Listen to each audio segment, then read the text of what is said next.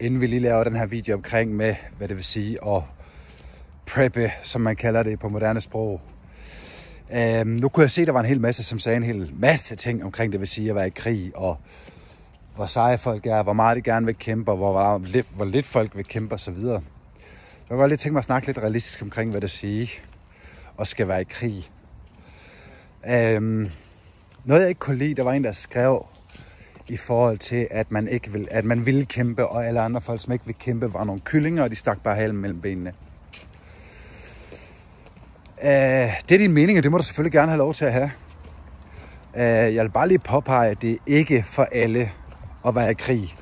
Og nu kan jeg kun sige ud fra personlige erfaringer. Øh, krig er ikke ens, og alle kampe udspilles ikke ens.